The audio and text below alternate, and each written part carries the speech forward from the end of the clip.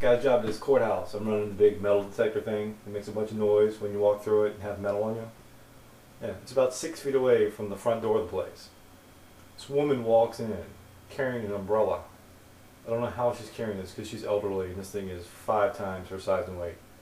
The tip of it's already passing through the metal detector and she's still outside.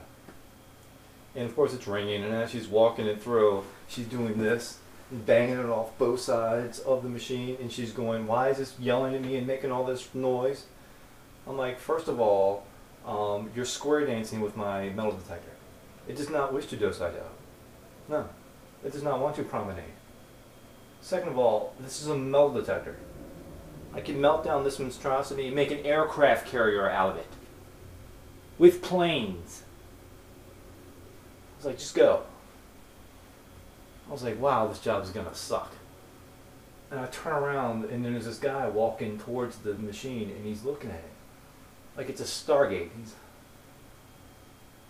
He's looking at it like it's Christ. He's, and he asked me this question, he, and I've heard this question more than once. He goes, Does it hurt? I said, No. Oh, yeah, actually, it does. Yeah. As you walk through and the lasers penetrate your internal organs and turn them to mint jelly, and you get headaches and nausea and diarrhea. But only in a few cases have there been any permanent sexual side effects. Like, now pass through my portal. He ran out the front door, almost knocked over the lady in the sundress that I saw, and I was like, oh, maybe the job's not going to suck. It was cut to here. Ugh. And she comes through my machine and beeps. I'm like, there's nothing there. I mean, I don't know why. So I hand wander down. I'm like, mm-hmm. Mm-hmm. Mm-hmm. Beep. Say, ma'am, why is your crotch metal? Why do you have a metal box? She was like, oh yeah, those are my Ben Wa balls.